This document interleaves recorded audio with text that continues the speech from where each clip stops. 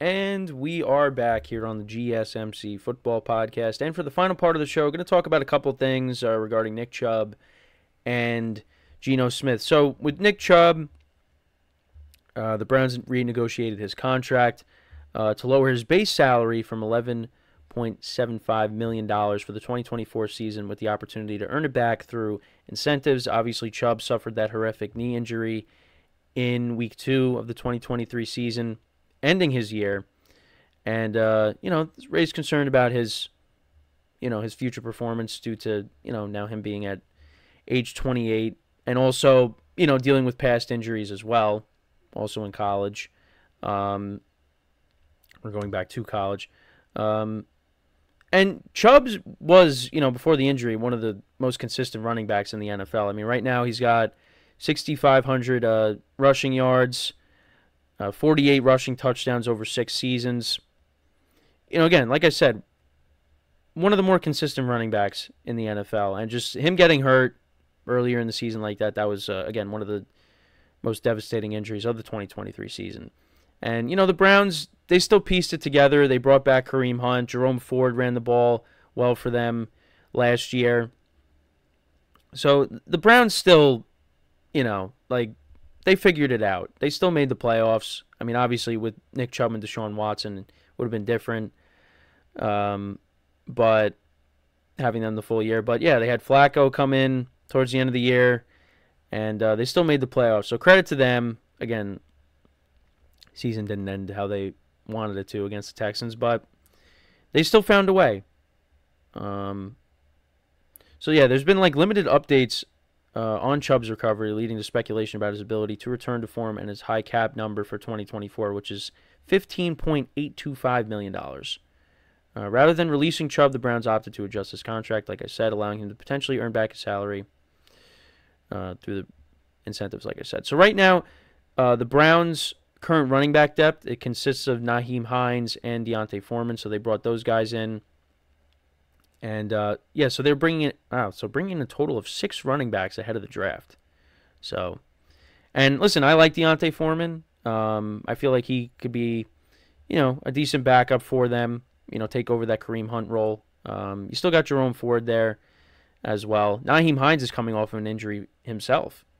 Uh, but yeah, they brought in a ton of depth, you know, so they can try to ease Chubb back into it. And I hope they do because I like Nick Chubb. And uh, again, you know, watching him go down, that, that again, that hurt the league as well, seeing him get hurt.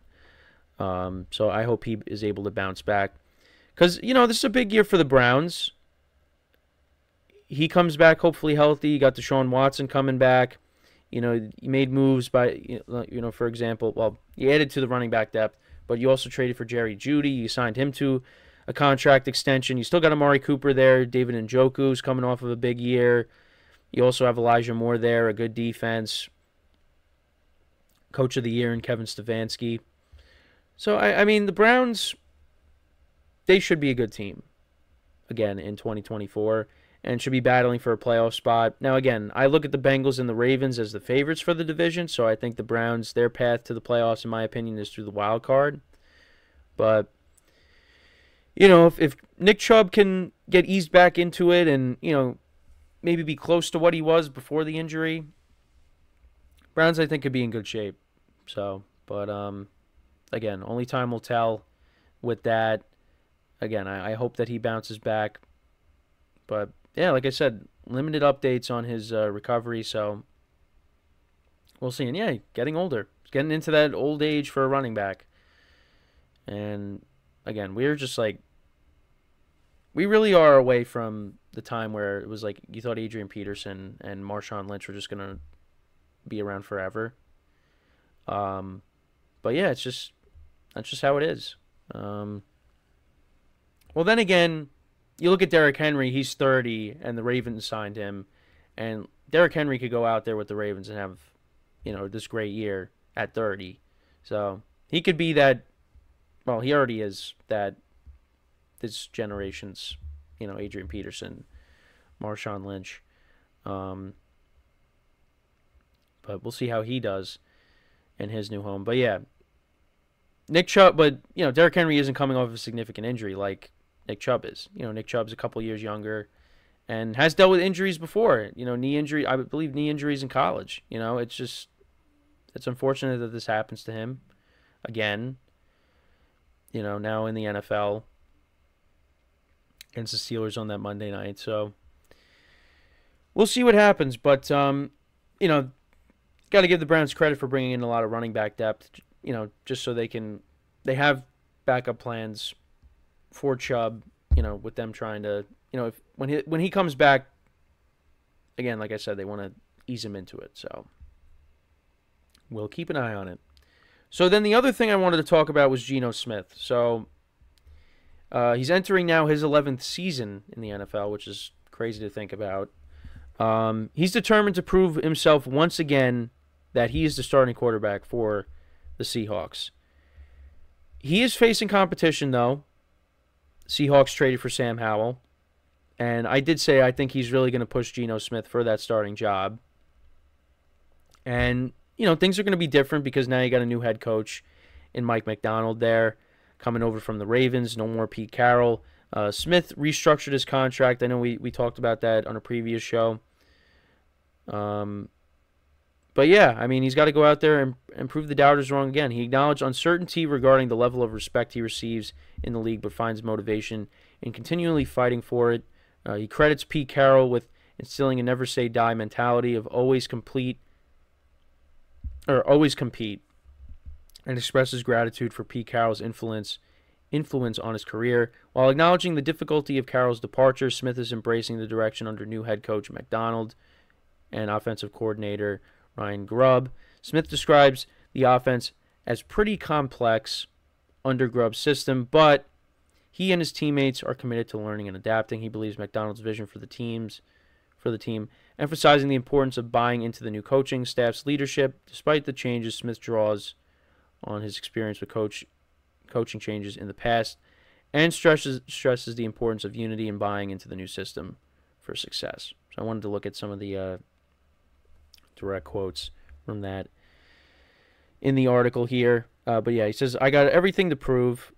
Um, he said, new coaching staff, old coaching staff, I got everything to prove. Um, uh, he said, that's every day. That's the way I wake up every day. I'm competing with Sam Howell. I know he's competing with me. I'm going to compete my butt off. I'm competing with everybody in this building to be the best that I can be. I really don't approach it any other way. Um, but yeah, like I said, spoke very highly of Pete Carroll. Um,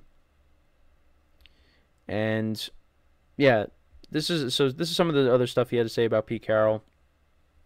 Like I said, he, he mentioned the stuff that Carroll told him: always compete. What he learned from Pete Carroll: always compete, always go for it, never back down. The day is the day I'll remember forever, just because of how things happened for me. He said, obviously, Coach Carroll is a big influence on my career. Helped me out a bunch when I came to this organization really helped me thrust into the spotlight that I'm in now. For me, it was kind of a terrible moment to see someone that I love so much having to part ways with him. That's the way of the NFL. That's the way things go. Very excited for what we have here now and just the direction we're heading in. So, I mean, we'll see. But it just goes to show you that, you know, from what he said, he really praises Pete Carroll and really helped him out. And yeah, the Seahawks really did believe in Geno because you know, they traded for Drew Lock. Well, in the Russell, well, they got Drew Lock in the Russell Wilson trade, and people were like, "Oh, well, it looks like Drew Lock's going to be the starter."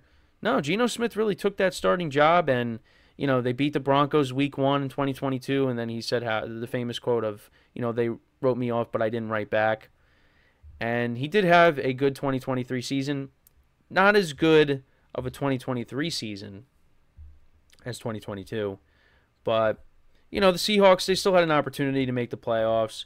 And, you know, I think Geno, you know, he earned the right, um, you know, to be the starter. Has earned the right to be the starter, um, you know, these last couple of seasons. But now it's, you know, different coaching staff.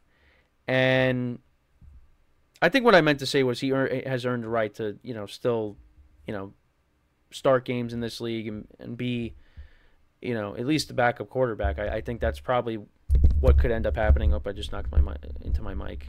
Apologize for that. But, um, you know, I, like I said, I, I think Sam Howell is really going to push him for this starting job. So he's got to go out there, like you said, he's going to go out there and compete and not back down. And I think that's a good mindset to have. Um, but we'll see. I, I mean, with the Seahawks, I, I think you, you want to see what you have in Sam Howell because, you know, the Seahawks have a good roster.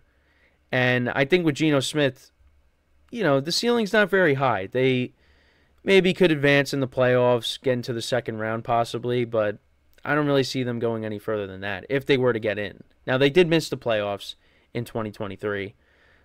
So, you know, and, of course, you got the Rams who got better again, had a bounce back year, and you still got the 49ers. So, the division's tougher. You know, the Rams swept the season series with them, the 49ers, of course, did. Yeah, I mean, your only wins came against the Cardinals. So, um, you know, they they got uh they got some competition in that division. So, you know, right now their best path is to make the playoffs through the wild card. But I mean, we'll see. Is it going to be? I, I think if Geno Smith struggles, you know, then it's going to be Sam Howell. But I think now with this new regime, you're going to have them battle it out. And for me, I would like to see Sam Howell be the starter and see what he does with this, you know, better team that he's now with.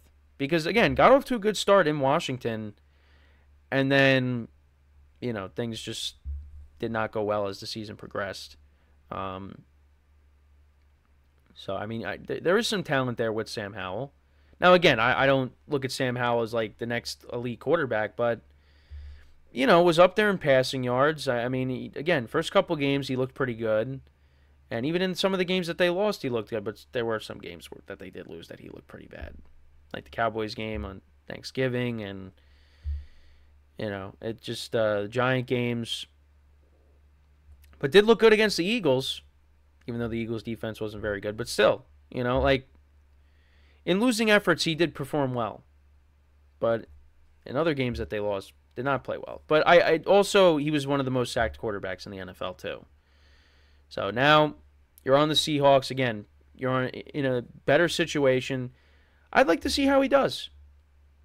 And again, because you got a pair of good running backs, you got you know a trio of solid wide receivers. I you know I'd like to see what he could do and I think he'll have the opportunity to compete for that starting job. But we'll see. It's gonna be uh, it's gonna be an interesting competition. If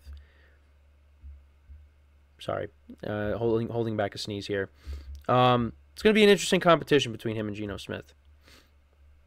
Um, so we'll see how that goes. But yeah, that's uh, but that is pretty much it for the show for today. Again, with this, these topics here, let me know your thoughts in the comments with the uh, Seahawks quarterback situation.